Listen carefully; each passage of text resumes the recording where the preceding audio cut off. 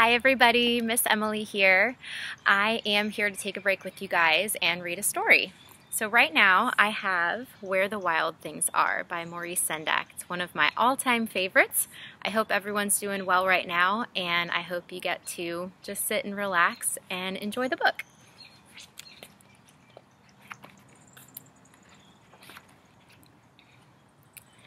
The night Max wore his wolf suit and made mischief of one kind, his mother called him Wild Thing, and Max said, I'll eat you up. So he was sent to bed without eating anything.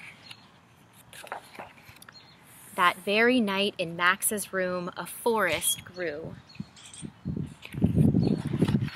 and grew and grew until his ceiling hung with vines and the walls became the world all around him. And an ocean tumbled by with a private boat for Max, and he sailed off through night and day. And in and out of weeks, and almost over a year, to where the wild things are.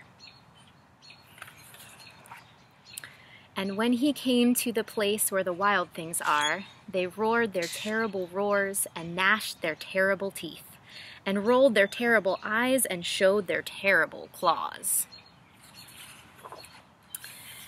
Till Max said, Be still, and tamed them with the magic trick of staring into all their yellow eyes without blinking once, and they were frightened and called him the most wild thing of all, and made him king of all the wild things. And now, cried Max, let the wild rumpus start.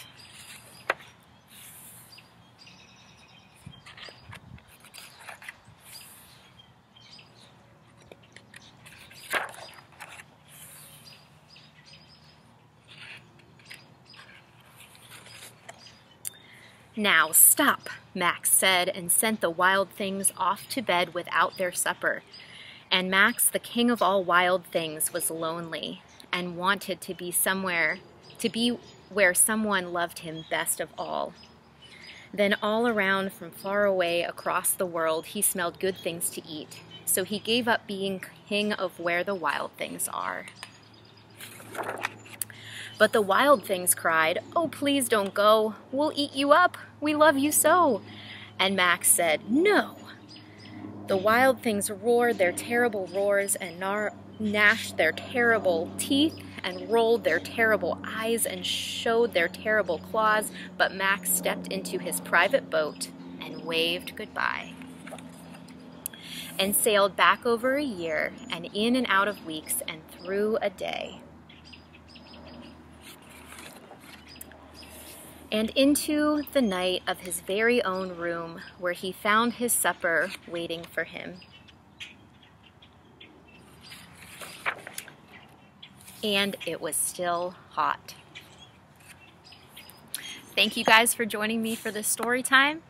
I hope everyone had a good moment just to sit and relax, and I will talk to you guys again soon. Bye.